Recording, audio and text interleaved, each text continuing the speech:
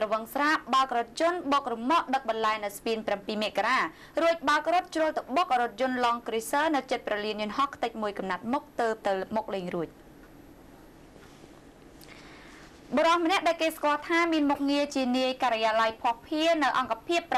711ហៅង70បានបើករជុនក្នុងស្ថានភាពស្រវឹងទៅបុកនឹងរមាក់ដឹកបន្លែរួចខំបើករថកិច្ចហើយក៏ជ្រុលទៅបុកនឹងរថយន្ត Long Cruiser ដែលបើកបញ្ច្រាស់ទិសគ្នាបណ្ដាលឲ្យរថយន្តទាំងពីរស្រុញមួយកំណាត់មុខទៅមុខលេងរួច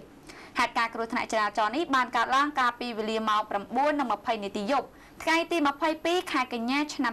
2015នៅតាមបណ្ដោយផ្លូវសហព័ន្ធរុស្ស៊ីខាងមុខរោងចក្រខ្មែរដំឡើងរថយន្តទី1ស្ថិតក្នុងភូមិព្រៃទាសង្កាត់ចំចៅខណ្ឌពោធិ៍សែនជ័យ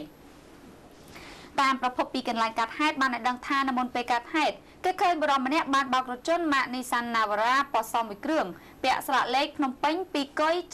7303បោកបលលឿនដូចហោះ ក្នុងទិសដៅពីកើតតលិចតាមបណ្ដោយផ្លូវសហព័ន្ធរុស្ស៊ីរួចក៏បុកម៉ូតូសណ្ដោងរមាក់ដឹកបន្លាយចេញពីផ្សារដើមកោពីក្រោយនៅខាងក្រោមកុលស្ពាន7មករាពេញទំហឹងបណ្ដាលឲ្យជនរងគ្រោះទាំង3នាក់ឪពុកម្ដាយនិងកូនរងរំោះស្រាល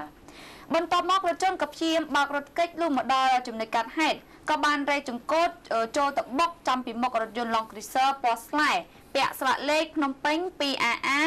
1763ដែលបើកបញ្ច្រាស់ទិសគ្នាពេញទំហឹងបណ្ដាលឲ្យរថយន្ត Navara វិលមួយជុំ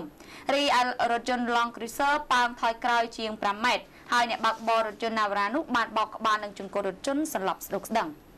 បន្ទាប់មកគេឃើញមិត្តភ័ក្តិជិះរថយន្តចាស់មិត្តភ័ក្តិជិះរថយន្តមកពីក្រោយដឹកយកម្ចាស់រថយន្ត Navara ទៅសង្គ្រោះនៅមន្ទីរពេទ្យចំណែកបរិបបើកបរថយន្ត Long Cruiser គ្រាន់តែរបួសស្រាលប៉ុណ្ណោះដែលឡាយរថយន្តទាំងពីរគ្រឿងខូចខាតខ្ទេចស្រុញមួយកំណាត់មុខ